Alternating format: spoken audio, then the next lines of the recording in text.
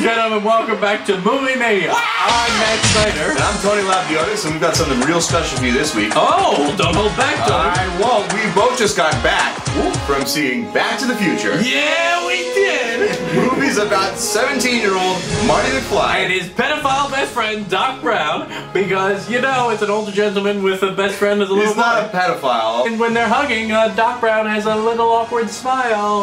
Of course, Matt would So notice you that. can infer what you want. And you obviously did. I did, so tell us about the plot, Tony. So Doc Brown is an inventor, and he Yes. invents a time machine, Whoa. which sends Marty back in time 30 years. Ouch. From present day 1985 to 1955. Yeah, and I don't want to ruin the movie, but let me tell you So my don't. favorite scene. Okay. And it's right at the end when uh, Marty McFly is witnessing his dad save his future wife from being quote unquote raped by the bully.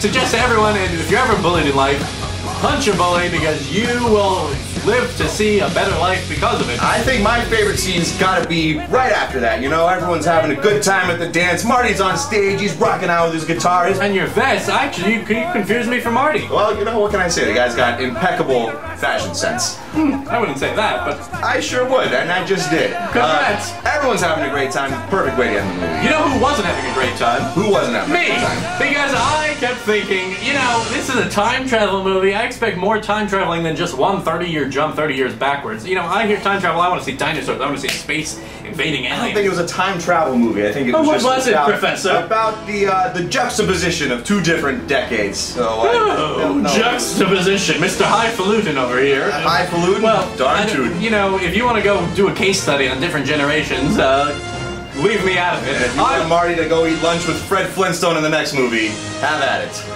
Sign me up for that. I think that the only issue I had with the movie was um, Doc Brown looks exactly the same in 1955 as he does in 1985. Oh, get over it. Went 30 years from now, I'm going to look exactly the same way, so. Uh, well, I think we both might look exactly the same Well, way. well, well, stay tuned for that. Right now, we're going to a quick commercial break because somebody's got to pay for this. It don't come cheap.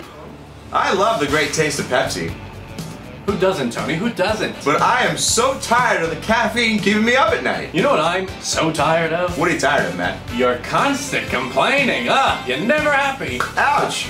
Well, finally, I might have a solution for both of our problems, and it's called Pepsi Free. Pepsi free? Tell us about it. I will if you'd shut up. Pepsi Free is a Pepsi with that great taste of the soda you love, but free of that caffeine that you loathe. That sounds too good to be true. I've got Oh, to try it just might be, but you're gonna try it and tell us if you like it.